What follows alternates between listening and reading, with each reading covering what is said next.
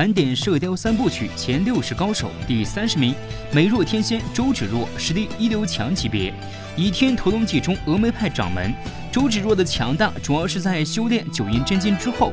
亳州与张无忌的婚礼上，若不是范瑶出手，周芷若恐怕一招就能将满状态的赵敏逼于九阴白骨爪之下了。范瑶出手阻止，也是被周芷若左手轻抚手腕酸麻。原文是：范瑶眼见危急，伸掌向周芷若肩头推去，周芷若左手微挥，轻轻一扶，范瑶手腕一阵酸麻，这一掌便推不出去。眼看范瑶不行，张无忌又出手阻止。原文说：周芷若双手连施八下险招，张无忌使出乾坤大挪移的心法才挡住。后来周芷若正式宣布与张无忌闹掰。走出婚礼现场，原文称杨逍、殷天正等一齐追上，只见他轻飘飘的，有如一朵红云向东而去，轻功之佳，近似不下于轻易福王韦一笑。杨逍等料知追赶不及。从原文描述上来看，周芷若的轻功已经达到了世间第一流水平，强如杨逍和殷天正都料知追赶不上。少室山屠师大会上，周芷若以白蟒鞭对殷丽婷的太极剑。殷丽婷拿出百分之一百二的状态，仍旧不敌。两百招后被其击落手中长剑。台下的于连州察觉出周芷若武功中的漏洞，于是使出虎爪绝户手插向周芷若小腹。周芷若放弃殷丽婷五指向于连州头顶插落，只盼能斗个同归于尽。危急关头，张无忌挺身而出，拆了两人各自杀招。不过周芷若在此战中用计重创了张无忌。周芷若欲对张无忌下杀手，杨逍、范瑶联手与其斗了数招之后无果。第三次闯金刚伏魔圈，张无忌一人接下三度的全部压力，想让周芷若找机会。结果周芷若的真实功力跟四人差距明显，斗了一会儿后直接被扫出圈外，连插手的资格都没有。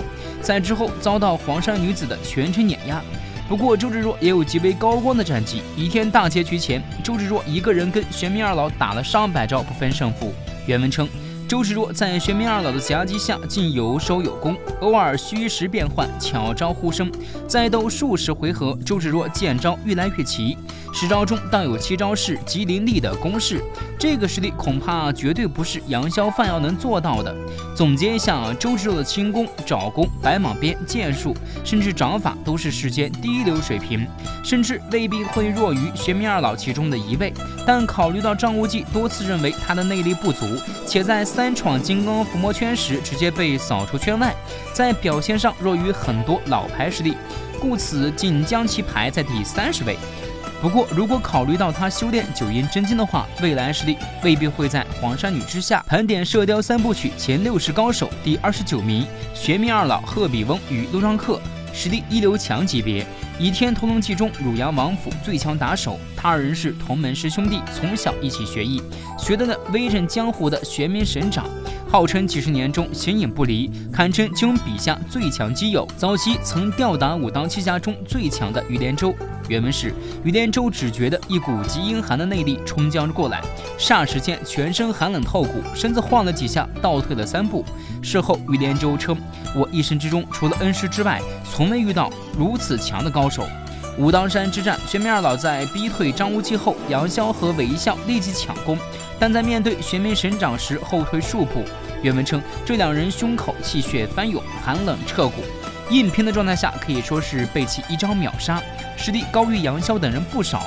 不过此后随着张无忌武功越来越高，玄冥二老的战绩呢就有些不够看了。数月后的万安寺，张无忌及时跳出搭救周芷若，这一次同样是玄冥二老合力，但满怒气值的张无忌不出三十招就将两人各自打受伤。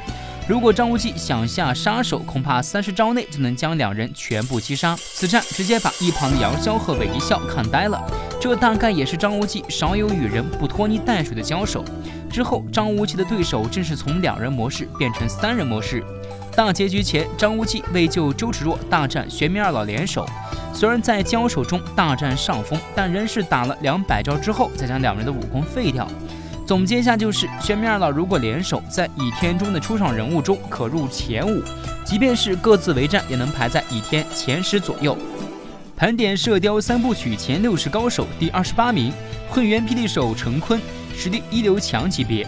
倚天屠龙记中最大的反派倚天第一谋家，因师妹之死开始仇视明教，为此杀的徒弟谢逊家破人亡，想通过谢逊引起武林人士对明教的仇视。陈坤主要有三大高光战绩，其一是在光明顶之战前一指重创杨逍、韦孝的六大高手。二十招内击败五散人中最强的冷谦。此后，幻影指被迫状态不佳到极点的陈坤，还跟鹰野王打了一架，结果陈坤借机炸死，鹰野王重伤昏迷。其二是面对明教高手范瑶的偷袭，先后三次当场将其击败。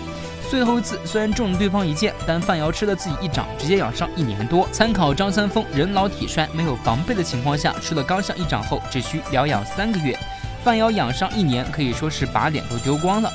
再参考范瑶曾说自己最少能在玄冥二老任意一人手下走一两百招不会落败，而他却在偷袭的情况下不敌陈坤，可见陈坤的实力绝对是在杨逍等人之上，甚至还在玄冥二老之上。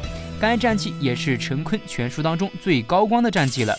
陈坤第三个主要战绩呢是与丐帮帮主石火龙连对十二掌，十二记降龙十八掌后，两人一死一伤。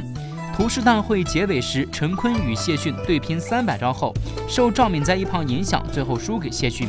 此战也是陈坤最被诟病的地方。虽然新修版中已经删除了他不弱于三度的旁白，但考虑有过三次击败过范瑶的经历，故而排名稍稍高于玄冥二老。从殷天正到陈坤为一流强级别，一流强明显强于一流中。且明显弱于接近准四绝级别，一流强大概接不住接近准四绝高手两百招。下期呢，我们来说说六名接近准四绝级别的高手。